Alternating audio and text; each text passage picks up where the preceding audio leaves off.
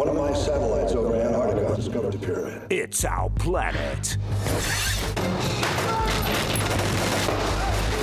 But it's their war.